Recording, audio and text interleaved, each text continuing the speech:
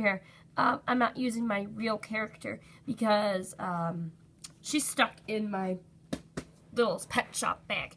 But the reason why I'm making this video is, is because um, this this pet that you're about to see, um, it doesn't look, it's not finished yet, but this is what it looks so far. But I will show you. So, yeah, uh, yeah, come on in Miss Justice. If you guys don't know what Miss Justice is, watch Totally Super. Okay, we go. It's this one. It's not the real one, but it's going to be the real one. Um, it's um, Miss Justice. Um, she's not as different, but what is missing on her head is the polka dots and the polka dots that's going on her ears. And then you can see the eyes right there. Um, they have to be light blue. They have to be light blue. But she's going to be in my series, but I need a name for her under my series. So, yeah, this one right here is not my mascot, but it's her name is Shep. So, she's just filling it. So, this is not the real one. Please do not comment down below and say, Holy macaroni, where did you get that? I made it. And it looks totally real, but it's not. Because, look, it has a magnet.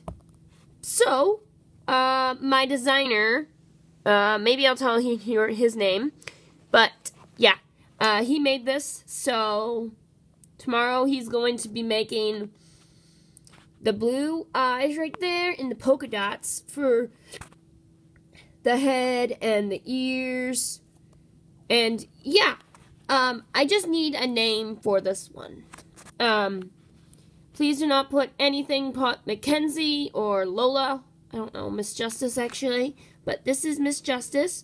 Not the real one, but maybe someday I'll get the real one. And yeah, finally got this one. And it's, it's really hard work. And I would never sell this one ever. So this one, uh, I like because it's super cute. And yeah, I'm getting paint on my hands. Don't judge. Um, she has this thing on her head. It's, um, I think it's a mark from her. I mean, if you want to know which pet shop this was before it was customized, uh, let me show you, um, the pet so you guys can understand. Okay, so it was this one right here. It was this one. And now it turned into this. So it was this. You all recognize her.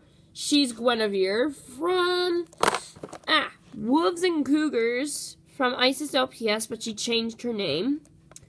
But yeah, um, this one right here was this one. This was this, and now it's this for this.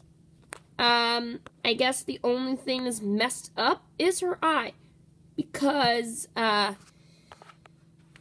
it's not the real one yet, but it will be.